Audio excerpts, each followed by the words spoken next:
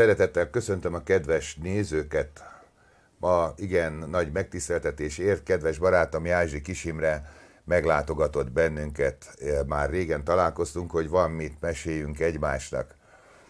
Azoknak a nézőknek, akiknek esetleg, mert hogy az újszülöttek minden vicc új, akik nem ismernék Jázsi Kisimrét, szeretném megmutatni, ő írta a hatodik pecsétet, amely azok számára, akik elolvasták, azoknak eléggé átformálta már a világképét. Imre, én először erről a könyvről kérdeznék, illetve nagyon sokan kérdezték tőlem, hogy vajon lesz-e folytatása. Lesz-e folytatása? Természetesen, mint ahogy a világkereke forog tovább, így ennek a kényszernek is folytatódnia kell, hogy ezeket a alapismereteket, amelyeket itt a hatodik pecsétbe elkezdtem feszegetni, ezeket egy újabb szösszenettel, egy újabb nekifutással tudjam úgy a világ elé tárni, ahogy ezt én látom, fölismerem, illetve ennek a, ennek a tudásnak a birtokában az információkat bővítsem, mint ahogy itt elindítottam. Szóval a helyzet az, hogy akkor ebből a könyvből kimaradt egy csomó. Nem kimaradt, hanem gyakorlatilag olyan szinten nehéz végigvinni, hogy ameddig az alapszavak, az alapfogalmak értetlenül maradnak, addig gyakorlatilag nem lehet tovább menni, mert ez olyan, mintha egy afrikai törzshöz kiállnék, és valami rettenetesen bonyolult matematikai kifejezésekkel próbálnám nekik elmagyarázni, hogy hogyan kell biciklizni. Tehát gyakorlatilag ez, a, ez az akadálya annak, hogy a, a könyv érthető, vagy a folytatás egyértelműen a hétköznapokba kezelhető legyen. Már ugye a felvétel előtt is beszélgettünk erről, de azért annyira tetszett a válaszot, hogy megkérdezem most is, hogy tehát akkor most a második rész, a könyv folytatás az azért készül el, hogy az első rész esetleg azok számára, akiknek nem volt értelmezhető teljesen, akkor az most értelmezhető legyen. Ilyen értelemben igen, illetve a hétköznapok számára olyan, olyan fordítás, olyan, az is a cím, hogy dekódex, tehát dekódolható legyen az a tudás, ami ebben rögzítve van. Tehát ami a hatodik pecsétben már rögzítve van, és a, a hétköznapok számára ugye nem, nem érthető, mert a, az alapfogalmakat közben ugye eltorzítottuk mi magunk, illetve van egy olyan törekvés a háttérhatalom részéről, hogy ne tudjuk kezelni a saját vízgazdálkodásunkat, illetve hogy a, te is sokat foglalkoztál vele a Trianon filmbe, azokat a gazdasági megoldásokat, illetve trükköket, amikkel mi elbukjuk a saját világunkhoz való viszonyunkat, ezeket olyan szintre emeljék, hogy ilyen szavazósdi, meg vírusos, maszkos elmebajjal szépen beleterelhetők legyünk abba a csapdába, amiben már több ezer éve terelgetnek bennünket. Ez most nekem a hét vicc, amikor meghallottam, hogy a templomokban kiveszik a, a szentelt vizet a, a, a kejhekből, mert hogy nehogy ott fertőződjenek az emberek. Én azt hittem, hogy a szentelt víz a szentelt víz, és akkor azzal nyugodtan kenegethetem magam, vagyis akkor most az egyház gyakorlatilag beismeri, hogy hát, hogy nem szentelt víz van benne, csak csapi víz, vagy pedig a, a, a megszentelés, na nem szeretnék ezt, ezen a vonalon tovább menni, minden esetre fura dolgokat produkálunk így ebben a, a covidos őrületben, mert hogy ugye a, a intelligens vírussal állunk szemben, mert elég, hogyha egy pár katona kimegy az utcára, és akkor már megáll a vírus, szóval akkor megijed, vagy hogyha esetleg fölteszünk egy, az egyik irodában egy maszkot, akkor ott védettek lesznek az emberek, a másik irodában meg nem. De szóval hagyjuk ezt. Inkább annyiban fontos ez a vírushoz való viszonyunk, hogy a méreteit sem értjük, tehát hogyha a hétköznapra vissza, amiről az előbb beszéltem, visszavetítem, akkor úgy néz ki, mintha azt kellene nekem megértenem, hogy a 200 méter távolságra lévő oszlopok között nem tud elférni egy kis bicikli. Tehát ez a maszknak a mérete, az oszlopok, a kis bicikli, a gyerekbicikli pedig a vírus mérete, és erre vagyunk úgy kötelezve, amiről az előbb beszéltem, hogy ne értsük az alapszavainkat, és akkor nem értjük, hogy mire vagyunk kényszerítve. Mi a rövid távú következménye annak, ha bután állok a világomhoz, és mi a hosszú távú következménye annak, ha valaki ezt az alaptudást jól kezeli a saját hasznára. Ekkor fizetem ki neki azt, ami az enyém. Imre, én nagyon-nagyon tisztelem a munkásságodat, és azt a rengeteg, rengeteg kiállást, elkötelezettséget, és amit felvállaltál ehhez, tényleg minden elismerésem. De eltelt most már nem is tudom, tizenvalahány év, tizenhány éve, hogy elindultál ezen az úton. 30. 30. Na jó, de amikor úgy élesbe váltottál Igen, azért az... 15 év. Amikor úgy elkezdted fűrészelni a villanyoszlopot. Igen. É, 15. Azóta változott-e a világ? Lette jobb? Vagy, vagy te is azt látod, hogy lép, tehát minden egyes évvel inkább egy kicsit még, még képesek vagyunk még, még lejjebb menni, közelíteni. A, szóval amikor az ember azt gondolja, hogy most már ettől lejjebb nem csúszhatunk, tehát ott vagyunk a gödör alján, akkor kiderül, hogy de, hogy Ott van egy tévedés, igen. hogy Még van lejjebb, Még van van lejjebb. lejjebb. Igen. És szó, említetted az előbb ezt a háttérhatalom szót, ugye ez nálam is egy ilyen nyomógomb. Hát most azt látjuk, hogy abszolút térnyerésben vannak, és a magyar nemzetnek nehéz a tudatára ébredni. És nagyon nagy szükség lenne azokra a tudásokra, amiket itt a könyvedben is elmondasz, úgyhogy ajánlom is a kedves nézőnek, hogy akinek még nincs meg a hatodik pecsét könyve, az próbálja meg sürgősen beszerezni és elolvasni, ha van erre mód, még lehetőség. Megoldható, igen. Megoldható a, a ismert oldalakon. A Az oldalakat törölték, szerverestől, mindenestől eltűnt minden. Igen? Szakkompúder. Tehát a telefonszámon, a könyvhöz. a telefonszám, ami a te riportjaid végén Aha. is ott van. Ezeket most ismét Azon- itt majd igen, feltüntetjük. Igen, igen, azon keresztül megoldható, illetve hát a, a mm, továbbiaknak a megszerzése is megoldható. Igen, hát az elég A sajnálatos, hogy következő könyv, illetve az Urupán pecsét, ami ugye a hatodik pecsét ebben, ebben a könyvben a névadó pecsét, gyakorlatilag most ilyen kézzelfogható állapotban itt van, és lesz szintén beszerezhető példányszám is belőle. Na jó, akkor mutassuk be ezt az urupán pecsitet. Mi ez? Gyakorlatilag ez a magyar ősi kultúrának az a kézzelfogható bizonyítéka, ami azt tárja elénk, hogy az uru szó az összes létező szavunkban a tudást jelenti, míg a pán felirat, a rovásból átfordított föníciai, az pedig a, a napnak a megfordított képe. Ezt most én pecsét lenyomatként leteszem, akkor a pánból keletkezett elbetű mutatja, hogy hogy lesz Európa felirata egy magyar olyan szó, ami semmi más nem jelent, mint az, hogy a napóra. Tehát uru, tudom a nap működését. De ha valaki kételkedik, akkor próbálja ki a panoráma szóval, emelről amarra panoráma, amarról, emelre pedig amarról nap. Tehát pánoráma, fordított olvasatban amarról nap.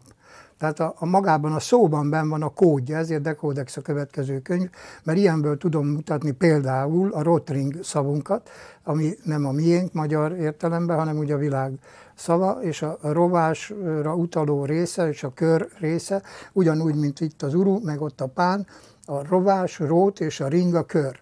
A rótringot megnézem, mint egy Möbius szalagot átfűzöm, akkor kiderül, hogy a, a váltója ennek a történetnek a, a, az urupánhoz hasonlóan az N betűnél a tartalom bújik át a másik síkba, tehát az egyik sík ér- érthetősége a másikba fordul át. A kettő együtt pedig egy harmadik értelmet mutat. És ez a baj a világnak a magyar beszéddel, képalkotással és fogalom és ö, probléma megoldással, hogy mi ebbe fölnőttek, ebbe, ebbe ö, hogy is mondjam, értelemre nyitó emberek, olyan jók vagyunk, hogy így ezáltal értjük azokat a képleteket, amelyeket a kezdettől fogva itt a, a mm, ha úgy tetszik, a teremtő ránk bízott, a nyelvünkbe kódolta, érthetnénk, ha tudnánk a szavaink alapértelmét. Tehát az, hogy egy régi nyelvben mi a nitrogén, ugye a honfoglalásban ott van a hidrogén, oxigén, nitrogén, mengyelejevi, HON, ez a hon. A nitrogénnek légeny a mi nyelvünkben a használt neve. Igen, csak hogy az ionoszférával kapcsolatban nagyon kevés nemzet tud bármit is mondani, míg az ősi magyar nyelvben a meneny szó határozta meg az iont. Úgyhogy ez a feszti körkép némi kiegészítése szorul, mert hogyha ha a mi őseink tudták az ion létezését, akkor gyakorlatilag oda a vereckei bevonuláshoz egy elektromikroszkópot még oda kéne festenünk. Vagy egészen máshonnan jött tudásból fakad az, hogy mi ránézünk a menenyre.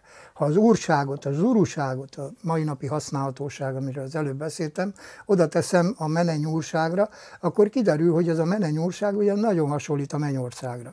Most ha az ionoszférának az értékelését ugyanezen a logikán végigviszem, akkor kiderül, hogy ezek a világűri frekvenciák és a, a Földnek a, a biológiai létéhez szükséges frekvenciák harmonizáló területe, mint ahogy itt az N betű, ami a rovás N figura, alkotja azt az váltókódot, amivel az Urupán egyszer csak Európává alakul. És Európa nem tudja megmagyarázni, hogy ő miért Európa, csak magyarul. Mint ahogy ide jövet, beszélgettünk, hogy a, a mm, egyiptomi sírások egy kicsit elkeverték a dolgot, mert nem lefelé ásták a sírt, hanem úgy fölfelé, hogy piramis lett belőle apró kis hiba, hogy a, a fölfelé ásott piramisba se találtak halottakat, tehát gyakorlatilag, amit próbálnak letúrni a torkunkon, hogy ezek a fáraók temetkezései nincs behalott. Tehát meg az a kérdésem, hogy az ásással hogyan lehetett akkor a köveket képezni, hogy a, a feltételezett fáraó halál hulla fölé egyszer csak egy akkora monumentális kő történet ott. És, ott, a, a, és nem kérdezi ma senki. megtalálták a piramisokat, azóta próbálják kitalálni, hogy hogy építették meg, hát azon a módon, ahogy próbálják ezt megtalálni, ennek a módját ezek a technikusok, mérnökök, úgy soha nem is fognak rájönni. Hát. Mert az uru hiányzik, a tudás. Azt a, jelenti, az. hogy tudás. És a turulban nálunk azért hat a hatodik pecsét, mert állatfigurák nevében van kódolva az a tudás, hogy hogyan lehet azokat a hatalmas tömböket megcsinálni. Ez a turul pecsét, ugye nekünk van most öt, két oldalról, kettő-három, egyik az urusláj, a oroszlán, a, lej, a lejvonal, másik oldalon van a dinoszaurusz, szintén uru, a kenguru, az a kán, a beszéd uruja, a tudója, és középen foglal helyet az urupán, ez pedig ugye a bak szimbólum, ez a pánság, ami viszont a napnak a megfordított képe. Ezt próbáltam megmutatni a, abban a filmben, amit a, a mm, dekódolásnak a fővezetőjének szántam, ahol is a koronának a felreállított képével, tehát tudom a napot, és nem más, mint egy a kapuvári főtéren felállított, felreállított koronában ennek a tudásnak a, a fogható bizonyítéka ott van az, hogy miért szeretjük szentnek hívni azt a koronát, amit egy István király, és visszajönk a szentre, Igen. hogy valamit, valamire szánunk, és ebből származik a szent szó. Tehát, hogyha a lélegzésre szánt területünk nagy légköbméter a templom tetejébe, az az arra szánt lélegzet. És nem szent lélek, hanem szánt lélek. Tehát gyakorlatilag a szent és a szánt mindig rámutat a cselekvésre. Fúrok és ások, találok vizet. Hogy mondjuk ma? Fúrás, fúrás, forrás. Tehát azt tudom, vagy nem tudom. Ha nem tudom, akkor más kihasználja, és egyszer csak elviszi a Kárpát-medence alól a vizet. 2009. Víz. Igen? Hogy állunk vízzel? Hát nagyon pocsékul. Megint csak az uru, a tudás, hogyha mérjük, odafigyelve, szeretve ezt a mi teljes egységünket, akkor kiderül, hogy a magyarországi nagy tavak vidékéről évi 30 cm-enként tűnik el az a víz, ami a mi létünknek az alapja, a tökéletes működésünknek. Úgy az alapja, hogy ez a légköri asszály nevű történet is de, de, megjelent már, bocsánat, ezért vannak közbesz... tornádók. Igen? Bo- bocsánat, hogy közbeszólok, kedves barátunk, amikor erről beszéltük, ugye megjegyezte, hogy persze, hogy tűnik el a víz, hát kevés az eső megint csak uru. Tehát, hogyha ha tudnánk megengedni a világ nekünk, hogy tudjuk, hogy honnan származik az a víz, amiről beszélünk, akkor ez nevetséges felvetés is. A víz úgy jön ide-vissza, megnézzük a Mariana árok környéki annak idején kirakott dokumentumokat, meg a mostani mérések eredményét, akkor tudhatjuk, hogy a, a, az a víz, ami az óceánok sósvize és a, a szárazföldek édesvize, kapcsol, ilyen értelemben nem, nem, nem, nem is emlegethető egy lapon. Tehát ez a körforgás a víznek a, a le, magra jutása, tehát a magon terület, ugye az ia, a mágia az nem más, mint hogy a víz ketté válik, ezért volt Iszter az Iszter Attila, ugye Iszter osztora, ez az osztásnak az ura, ez az oszt úr. Megint az úr szóval vagyunk el késve egy picit, mondjuk pár ezer évvel. És innentől tudhatjuk, hogy a hidrogén és az oxigén, amikor elindul fölfelé a magról, akkor hoz egy-egy szenet, vagy ott csinálja valami most, vagy egy régi történet alapján, és így keletkezik a CH4, ez a metángáz, és a CO2, ami a széndiokszid, ez a két nyomással jövő gáz, a bar és a bárgáz.